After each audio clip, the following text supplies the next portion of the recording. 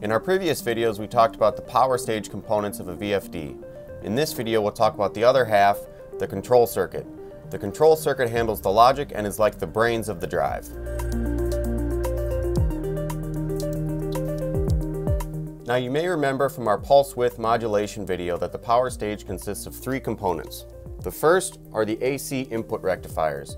These convert your AC line voltage to a DC bus voltage. Next are the DC bus capacitors. These smooth out any ripples on the DC bus.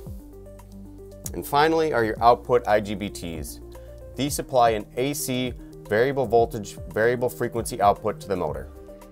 The control circuit of KEB's F5 VFD is handled by the control card. Now this is a little bit too hard to draw, so we're just going to point out the main components. First is the power stage connection.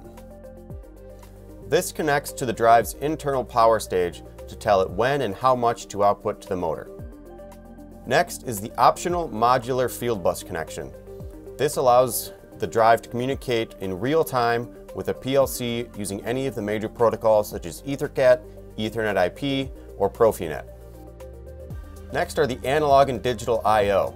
These are used for simple logic-based controls. For example, the analog input can take a 0 to 10 volt signal to set the command speed, or a digital output could signal to the rest of the machine that the motor is at its command speed. And finally is the encoder feedback. This is a modular encoder board that allows the drive to run in closed loop control.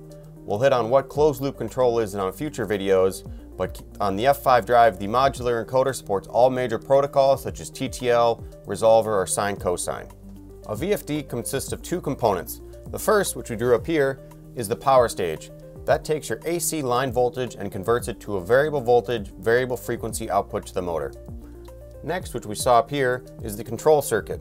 The control circuit consists of three main components. The first is the analog and digital I.O. These allow for simple logic-based controls to and from the machine.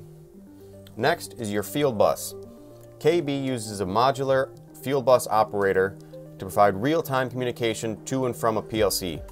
KEB supports all major protocols such as EtherCAT, Ethernet IP, or Profinet.